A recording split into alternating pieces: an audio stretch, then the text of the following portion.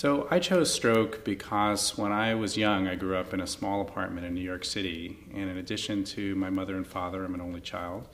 My grandmother, my mother's mother, lived with us. And she was a wonderful woman, an immigrant from Europe. And uh, she was always there for me, just like a, a third parent.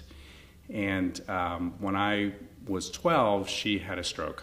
And this wonderful woman who was very vivacious and um, was great at, at talking to me and being with me all the time, suddenly was unable to speak or use the right side of her body.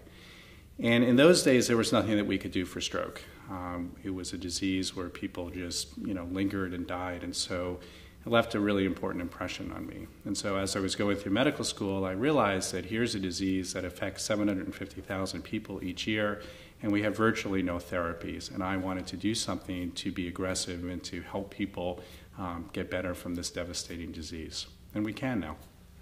This is a very uh, complicated age of medicine. We have great technology. We know what to do in many circumstances, but at times we actually over apply the technology. So I think that great physicians know when to use technology and importantly, when not to use technology. And just because there is a new drug or a new device out there doesn't mean that we should be using it. So, what's really important to me as a physician, and the reason that I love to drive to work every day, is because I like to work with my patients. It's a partnership. I enjoy talking. I love when my patients bring in articles or challenge me about certain issues because it's their body, it's their decisions, and I'm there to help them, not to force anything upon them.